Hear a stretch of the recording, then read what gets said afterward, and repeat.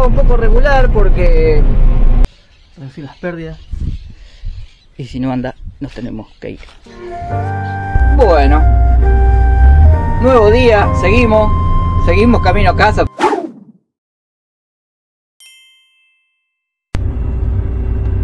¿Cómo están queridos amigos? Bienvenidos a un nuevo video. Estamos arrancando en la cosechadora a hacer girasol. Ahí en, el lote que les estuve mostrando en videos anteriores.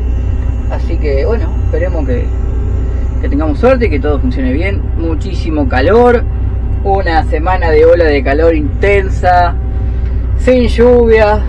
Eh, no sé la verdad cómo vamos a seguir. Vos quedate hasta el final porque eh, se viene un video interesante y divertido.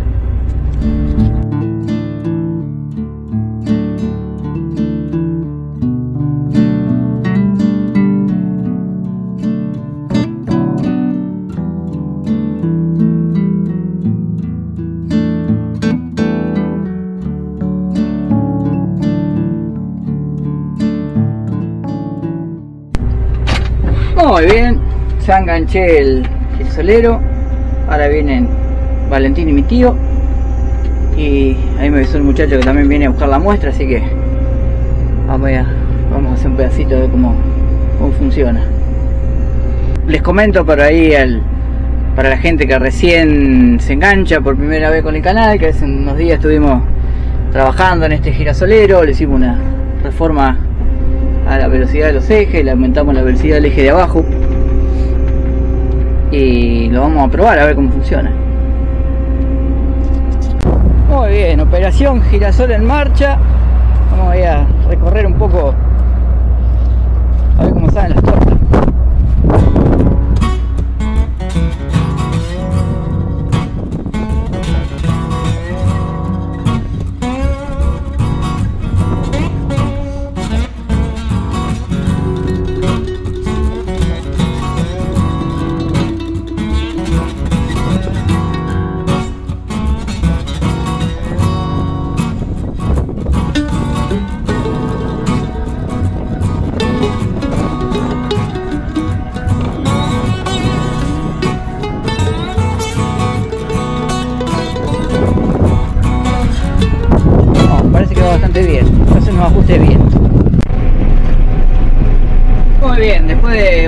regulaciones que dio un poco de trabajo porque está muy seco, tiene 5 de humedad, se escapaba un poco por el viento, venía un poco de mugre, la tolva, pero ya pudimos regular, así que bueno, veremos cómo sigue.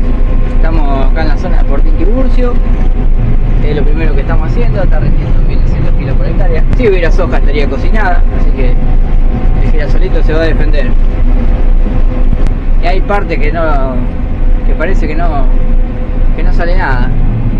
Paré a mirar si se abría, si se abrió la noria, porque una vez me pasó, pero no. Era que había poco girasol. Vamos sacando la segunda tolva, segunda tolva de la máquina. Ya está el vale estamos en la cosecha del 2023, empezando la cosecha gruesa, con la verdad con un rinde de girasol poco bajo en esta parte, pero se ve mucho mejor el resto. Ahí pueden apreciar el 180-90 con la, con la Fabimal de 26 toneladas. Bueno, ya está el camión. Y acá estamos, peleándola, peleándola. Ahora les voy contando mientras voy llegando a la punta. Eh, nos costó un poco regular porque bueno, con la zaranda bastante abierta, la zaranda de arriba. Y venía mucha mugre, mucho, mucho palito, entonces bueno, también aflojé un poco de viento, venía más. Y después empezamos a ir cerrando de a poco, subiendo el viento, claro, porque resulta que los granos que veíamos en el suelo eh, eran de, de.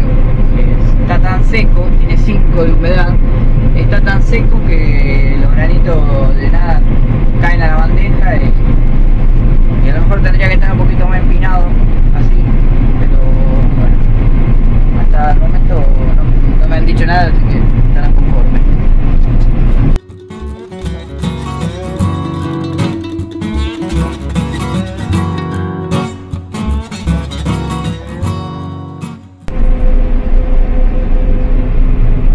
Bueno, ya van 4 hectáreas y media aproximadamente acá en esta otra parte del lote. El rinde subió un poquito. Allá al fondo se puede apreciar la laguna que había antes. Ahora se ve una franja blanca. Perdí una de las chapas del maicero y de los legales, pero ahora no la precisamos. Así que después lo vamos a, a recuperar. Ahí el tubo de Valentín. Qué paisaje tenemos. Bueno, vieron que hoy le dije que se había salido la chapa, me sacó la correa, se paró todo el girasolero justo delante del, ingeniero y del dueño. Ah, quedé como el ojete. Me olvidé de grabar gente con todo el tema de la trilla. Acá paramos, mañana vamos a seguir porque se levantó un terrible viento y ya queda la mitad, así que mañana se hace bien, eh, de día más fácil.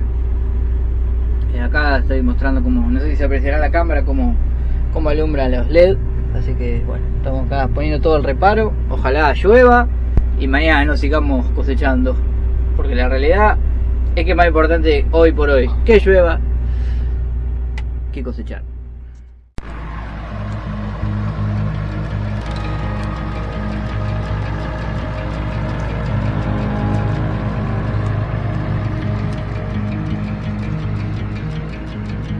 Buen día gente, seguimos hoy cosechando girasol. Vamos a hacer nos ajuste mal el girasolero a ver si podemos hacer que trabaje mejor y que no haga tanta pérdida.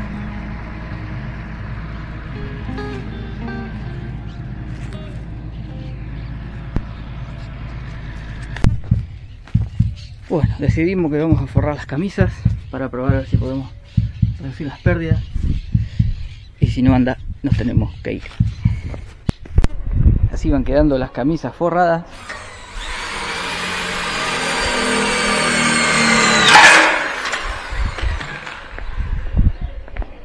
Ya nos queda la próxima y vamos a armar. Hola, Nacho. Bueno, zafamos, dijo Jaimito. Parece que está contento del cargado, así que no nos van a echar todavía. Más tarde borramos la camisa, le cambiamos revolución en los ejes del girasolero para que no se atore y más acorde a la velocidad de avance. Y bueno, lo importante es hacer buen trabajo. Así que vamos todavía.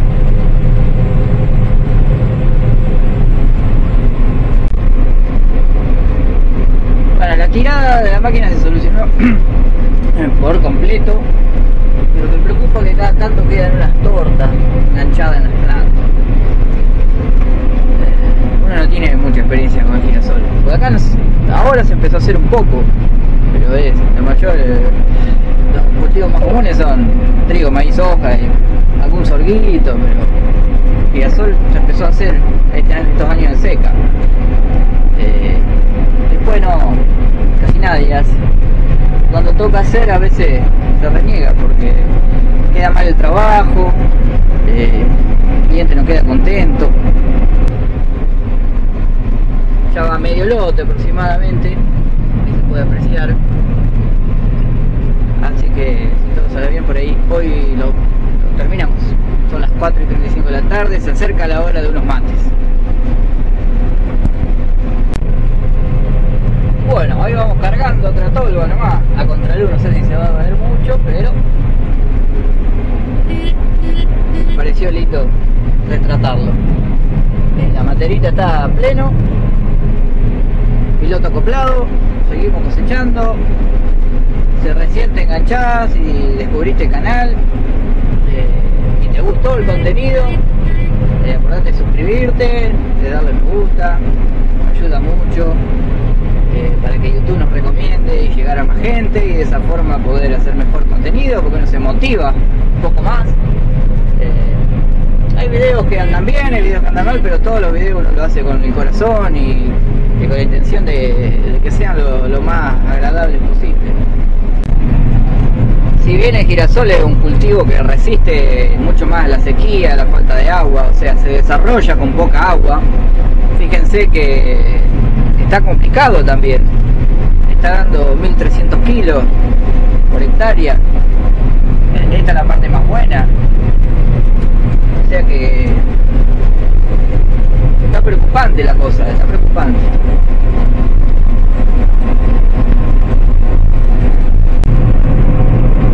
Ahora, en un rato, va a venir a manejar la máquina a Valentino, mi tío.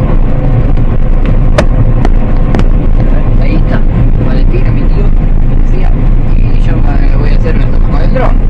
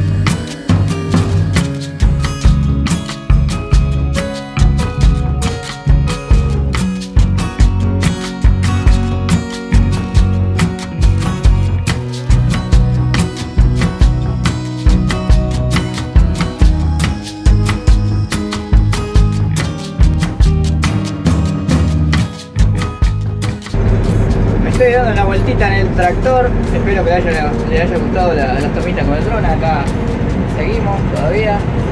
Todavía quedan como 10 hectáreas.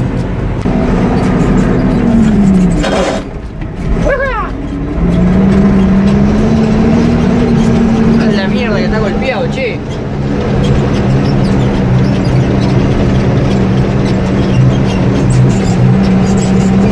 Estoy doblando a fondo. Creo que no lo estoy haciendo bien el trabajo de tractorista. Hace tantos años que no andaba en el tractor que. Bueno, con la época que andaba yo, andaba con la turba de un eje. Ya cuando llegaron las tolvas de, de dos ejes ya me tocó andar en la cosechadora. Bueno, acá estamos arriba del 180-90. Este tractor lo reacondicionamos, lo mostramos en un video que se llama La verdad de los tres Fiat. Lo van a ver ahí en el canal.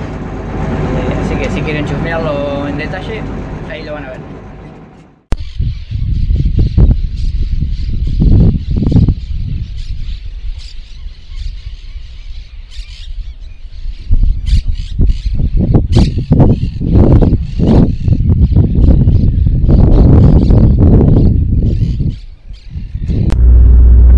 Bueno, nuevo día, seguimos, seguimos camino a casa porque anoche terminamos a las nueve y pico y bueno no no no filmé porque la batería de la camarita no iba más y hice las tomitas con el celular que habrán visto ahí en el tractor.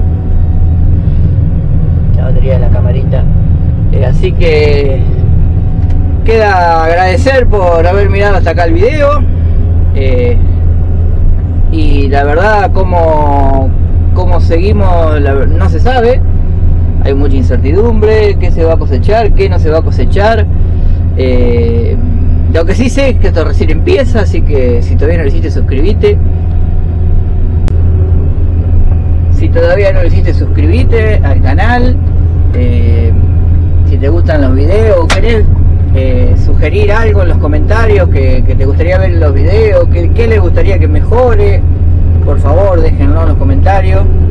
eh, todas la- las opiniones son aceptadas y válidas, porque bueno, a veces uno hace con todo el amor del mundo, pero se termina siendo muy personal y bueno, en fin, al fin de cuentas esto es para ustedes más que para mí. Eh, más allá que a mí me va a quedar un recuerdo, ¿no es cierto?, de las vivencias cuando, cuando sea abuelo.